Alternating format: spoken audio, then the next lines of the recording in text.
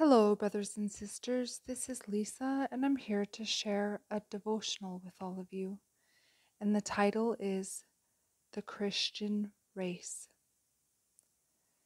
Know ye not that they which run in a race run all, but one receiveth the prize? So run, that ye may obtain.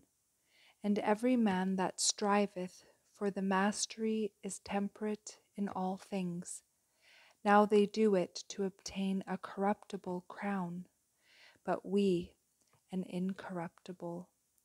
1 Corinthians 9, verses 24 and 25. Here, Paul makes a sharp contrast to put to shame the feeble efforts of professed Christians who plead for their selfish indulgences and refuse to place themselves by self denial and strictly temperate habits in a position that they will make a success of overcoming.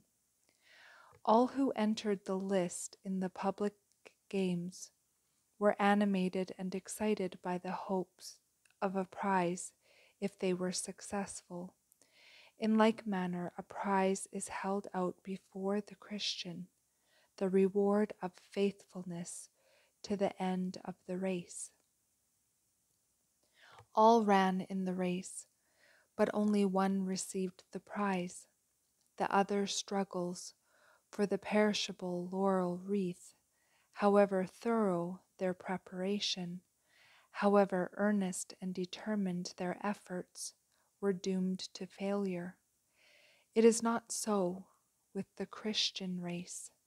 The weakest saint, as well as the strongest, may obtain the crown of immortal glory if he is thoroughly in earnest and will submit to privation and loss for Christ's sake.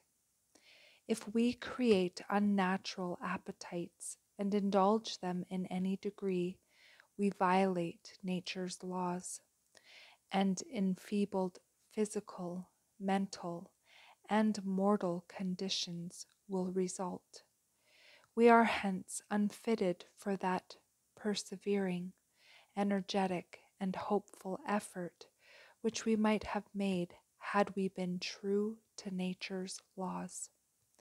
If we injure a single organ of the body, we rob God of the service we might render to him. The Apostle calls our attention to the care and diligence which we were required to secure the victory in these ancient games. He exhorts all who start in the Christian race to give all diligence to make success certain, while he presents before them for their encouragement the crown of glory which the righteous judge will award to all who are faithful to the end of the race. This crown is not a perishable chaplet of flowers, but the glorious crown of everlasting life, which awaits all who, having completed the Christian race, love the appearing of our Lord. And that is the end of this devotional. I pray you all have a beautiful day in the Lord. God bless each and every one of you, and I will see you either next video or in the air. Bye bye.